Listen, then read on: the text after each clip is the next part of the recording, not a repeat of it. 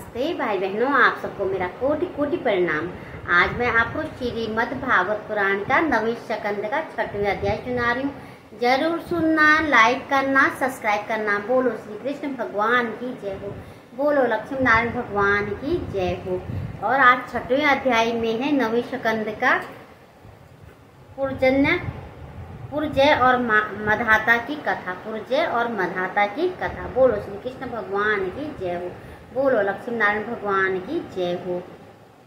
श्री सुखदेव जी बोले, हे परीक्षित, अमरीश के वंश में एक इच्छा को नामक महायशस्वी राजा हुआ।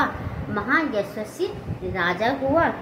एक दिन वह अपने ज्येष्ठ पुत्र शासक से बोला, एक दिन वह अपने ज्येष्ठ पुत्र शासक से बोला, हे पुत्र, तुम वन में जाकर पशु ले आओ तो मैं उससे पितरों को श्राद्ध दूँ। श्राद्ध कर दूँ, बोलो श्री कृष्ण भगवान की जय हो, हर हर महादेव की जय हो। यह बात सुनकर राजपुत्र ने वन में पहुंचकर एक हिरण को मारा और भूख लगने के कारण उसमें से थोड़ा सा मांस खा लिया और शेष मांस राजा को लाकर दे दिया। बोलो श्री कृष्ण भगवान की जय हो, बोलो, मेरे कृष्ण कन्हैया की जय हो।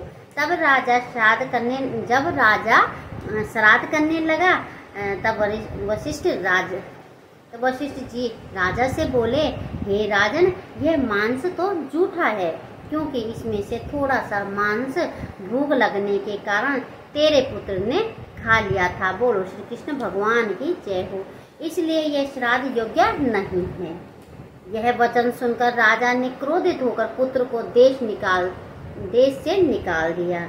जब राजा इच्छाकू की मृत्यु हो गई तब वशिष्ठ जी वशिष्ठ जी ने उनके पुत्र को बुलाकर राजा, उनका राज्य अभिषेक कर दिया। बोलो श्री कृष्ण भगवान की जय हो, कृष्ण कन्हैया लाल की जय हो। तदुपरांत उसके बल, तदुपरांत उसके कुल में एक पुरजय नामक पुरुजय नामक महाप्रतापी राजा पुत्र, राजा उत्पन्न हुआ। महाप्रतापी राजा उत्पन्न हुआ एक समय दैत्यों ने संग्राम करके देवताओं को परास्त कर लिया। उस समय इंद्रा के इंद्रादिक देवताओं ने ब्रह्मा जी के पास जाकर उनसे यह कहा कि तुम लोग ब्रह्मा जी लोग के राजपुरजय से जाकर सहायता मांगो।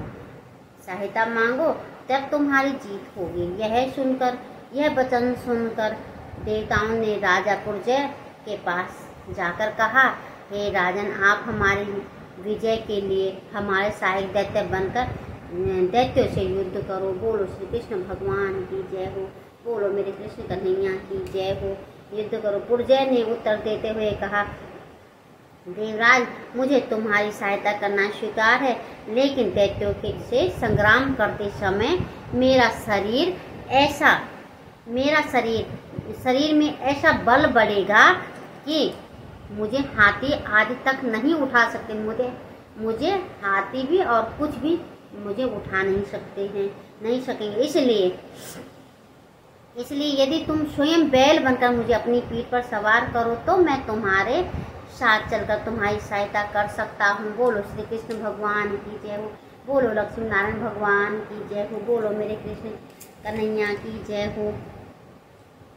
तो मैं तुम्हारी सहायता कर सकता हूँ, अगर आप अपनी पीठ पे ले जाओ, इंद्रदेव को कहा। इंद्र ने इच्छाकों की बात, यह बात स्वीकार कर ली और तब राजा पुरजन, पुरजय ने इंद्र पर सवार होकर दैत्यों को दैत्यों को संग्राम दैत्यों को संग्राम में प्राप्त कर दिया। तत्पश्चात इच्छाकों के वंश में एक शाश्वत नामक का राजा हुआ। उसने श्री वस्तीपुरी को बसाया। उसका पौत्र कुल कुलय या कुलय यासव नामक राजा ऐसा प्रतापी एवं शक्तिशाली हुआ कि उसने धुंध नामक दैत्य को मार डाला। बोलो श्री कृष्ण भगवान की जय हो।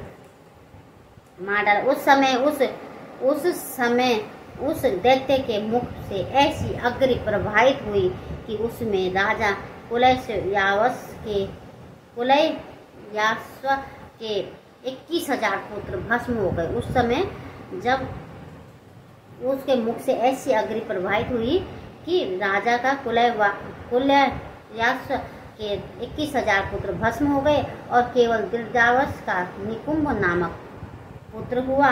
निकु निकुंभ के कुल निकुंभ के कुल से विनावस नामक राजा हुआ। उसने सातों द्वीपों के राजाओं को अपने अधीन कर लिया, लेकिन उस उसके कोई पुत्र न होने के कारण वह सदा चिंतित रहता था। बोलो श्री कृष्ण भगवान की जय हो। बोलो लक्ष्मी नारायण भगवान की जय हो। बोलो मेरे कृष्ण कन्हैया की जय हो। चिंतित रह उसका कोई पुत्र नहीं था तो हमेशा चिंतित रहता था सदा सदा चिंतित रहता था। एक दिन यु, यु नासव ने ऋषियों से प्रार्थना करते हुए कहा हे ऋषिवरों आप कोई ऐसा प्रयत्न कीजिए जिससे मेरे घर एक पुत्र हो जाए। तब ऋषियों ने राजा से एक यज्ञ की रचना करवाई।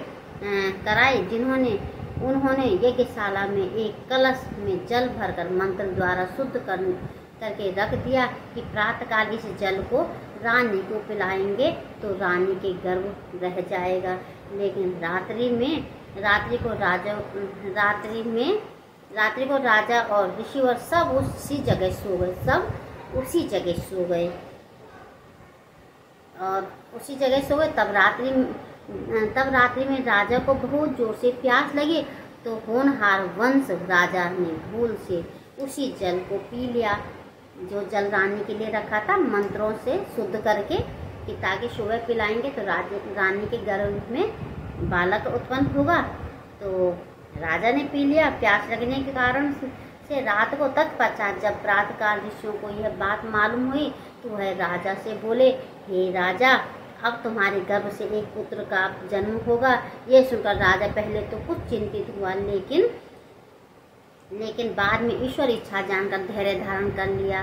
तत्पश्चात दसवें मास में ऋषियों ने राजा की दाहिनी को को फाड़कर बालक को निकाल लिया और घाव घाव को सीकर राजा को अच्छा कर दिया। बोलो, श्री कृष्ण भगवान की जय हो। बोलो, मेरे कृष्ण कन्हैया की जय हो। अच्छा फाड़ कर अच्छा मतलब सिल कर सी कर अच्छा कर। दिया जब बालक को भूख लगी तो इंद्र ने अपना अमृत में अंगूठा उसके मुँह में देकर चुसाया। अंगूठा चुसा, चुसाते समय इंद्र ने उसको मधाता कहकर संबोधित किया। इसलिए ऋषियों ने उसका नाम मधाता ही रख दिया। तरुण होने पर माधा, मधाता ऐसा शक्तिशाला, शक्तिशाली राजा हुआ कि उसने सातों द्वीपों के राजा अपने वश में कर दिए। बोलो श्री कृष्ण, भगवान की जय हो। बोलो लक्ष्मी नारायण भगवान की जय हो। वश कर दिए। उसने यज्ञ करके ब्राह्मणों को मनो इच्छित दान दिया।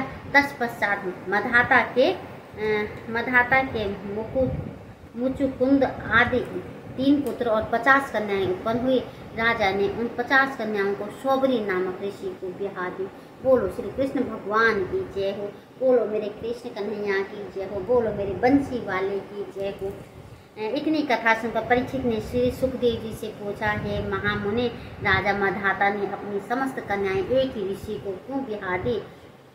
बोलो, श्री कृष्ण भगवान की जय हो, इससे आगे कल सुनाऊँगी।